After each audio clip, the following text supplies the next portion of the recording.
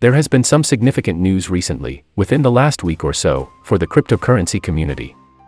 That is the amount of money that has been pumped into Bitcoin and the cryptocurrency market over the past week, with Bitcoin receiving the majority of it.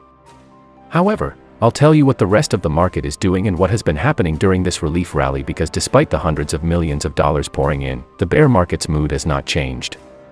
Since 2021, a central bank digital currency project has been in development in Japan. I'm going to share the most recent information with you on what the general public thinks about this digital currency issued by the central bank and is programmable. And in some unusual cryptocurrency news, a bank supported by Warren Buffett has experienced significant growth. I'll explain what happened to this bank's user base and what Buffett stated he would do with the money he has on hand from this bank initiative. Because, in case you hadn't heard, Warren Buffett once disparaged Bitcoin and other cryptocurrencies, calling them rat poison. Hello everyone, I'm Randy. Hello again from the XRP Vault. On this channel at the moment. News on cryptocurrencies, financial markets, and personal finances are all topics we cover. So be sure to click the subscribe button and join the XRP Vault community if any of these subjects interest you. Please remember to click the bell notification button so that YouTube can alert you when I upload a new video. And if you could please hit the thumbs up button and watch the entire video, that would be greatly appreciated. Some of the finest things you can do to help a YouTube channel are the ones listed above. I would be very grateful if you could do that. Okay, folks, let's get started. Okay, so let's begin by discussing Bitcoin, the cryptocurrency industry, and how much capital is being invested there. Over $474 million was invested in the cryptocurrency market in the final week of July alone. The vast bulk of money has now gone to Bitcoin, in fact, $84.8 million of it has gone into a Bitcoin. So there are some significant upward money flows into Bitcoin and Ethereum. On the other hand, despite a significant price increase of roughly $1,300 to $1,800, it only had inflows of roughly $400,000, but it did give part of it back during the preceding three days. Cardano also saw a $1.5 million influx at this point, yet it still managed to outperform the whole crypto market. Add the remaining 300 plus million dollars, many of which barely broke even in terms of inflows. As I mentioned, Bitcoin attracted the majority of that cash. What does that mean for the cryptographic industry now? In current terrible market for cryptocurrencies, is there really a change in opinion about the price? This crypto market consolidation throughout the winter, whatever you want to call it. Is there really a bottom in sight, that things are about to turn around? The 200-week moving average is one of the key indicators that many people are focusing on because Bitcoin was below it for a while before it recently broke above it and returned to test it twice in the past week. This means that although it broke above it and tested it twice as support, it hasn't yet broken below it. I'm now examining the dollar, the US dollar, and the DXY index since it appears from several charts that the dollar may have a little uptrend over the course of the next few days. And if that is the case, Bitcoin may go below the 200-week moving average, but I predict that it will bounce off of the support trend line it has been bouncing off of in the past and rise once more above the 200-week moving average, waffling back and forth. During the following few weeks. Some claim that it is set to increase, though. Guess we'll just have to wait and see. Okay, now I want to speak about this cryptocurrency project that Warren Buffett is working on and how it recently saw an explosion. Therefore, there is a bank in Brazil that is referred to as a challenger bank and goes by the name of Nubank. It is referred to as a challenger bank since it is a tiny bank and they tend to be more specialized institutions. They provide more versatile items, more affordable prices, and similar things. And they began doing so after 2009. Warren Buffett is now supporting this bank, alright. There are currently 45 million users.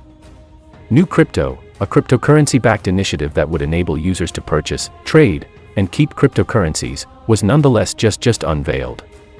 Well, that product cracked 1 million users of that cryptocurrency initiative in the first month actually, in the first three weeks. It's now incredibly intriguing to see a Warren Buffett-backed enterprise do something like provide cryptocurrency. It's hard to believe that they wouldn't have done it if Warren hadn't had any input. However, that is untrue, not only did it go ahead and start this cryptocurrency initiative, but Warren Buffett also declared that he would convert 1% of the bank's cash on hand into Bitcoin using this project. Now, this is the same person who, a few years back, referred to Bitcoin as rat poison in the cryptocurrency community while appearing to have established a bank for the poison. Please let me know in the comments section below whether you think Warren Buffett is genuinely starting to change his mind or if he simply views this as an opportunistic viewpoint. And he says, you know what, I might as well make a quick penny off of it if these folks are going to get into crypto. Tell me what you think in the comments area down below. Okay, let's now discuss digital currencies issued by the central bank. Particularly, this is the one that we are presently working on in Japan. The Central Bank of Japan recently announced they would not proceed with the CBDC project they were working on, which is why the news that just broke the other day made a major splash. They're going to put it on hold. Why? They claim that there was no interest from the general public in it. I don't think the general people will be very interested in central bank digital currencies everywhere, you don't say. More so than anything, it's about the government imposing it on the populace, much like China does. Why then is Japan in limbo? Evidently, they began doing some feasibility studies last year, and the results indicated that it was technically possible to carry out their desired actions. In terms of logistics, they also conducted a few more experiments. The final section of their research focused on how the general public would use and accept a central bank digital money, which received almost just negative feedback and little public interest at all.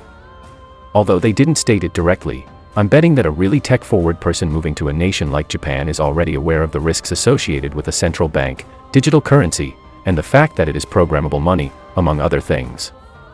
This survey mentioned how commonplace the usage of credit cards and other digital payment methods was among Japanese residents. The public's preference for items like loyalty incentives and different points that may be earned by utilizing specific credit cards with a variety of payment choices was also emphasized. They prefer utilizing these other payment methods since you can't really do it with a digital currency issued by a central bank. The fact that they push back against this cryptocurrency, a central bank, digital currency, and cryptocurrency is very telling, and the fact that the Central Bank of Japan actually demonstrated that, at least for the time being, is somewhat enlightening. These other payment methods are extremely popular in Japan, which makes sense given that Japan is so tech forward and tech progressive. The Bank of Japan also commented, saying, Listen, while we've worked on this project, it doesn't appear like we'll be introducing a CBDC anytime soon.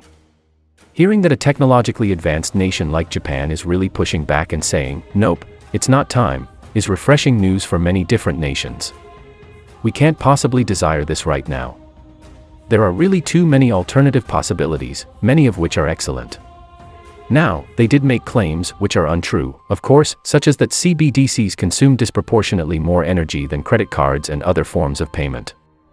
The Bitcoin community will quickly disagree with you and tell you that it is untrue that traditional banking and payment systems consume more energy than any cryptocurrency. Despite the fact that it's generating headlines, please share your opinions on CBDCs in the comments section below if you believe that other nations will follow suit and attempt to counteract the effect of central banks issuing their own digital currencies. Okay, people. If this is your first time here, perhaps think about subscribing and checking out the community page. If you haven't participated in any of them yet, go ahead and check out the new ones. I post polls there on a weekly and almost daily basis because I'd love to hear what you guys think about the stories that are covered on this channel, as well as some of the industry's top stories and some of the macroeconomic issues. Okay, people, I really appreciate you viewing this video so many times and clicking the thumbs up button. I'll see you all in the upcoming video, as usual.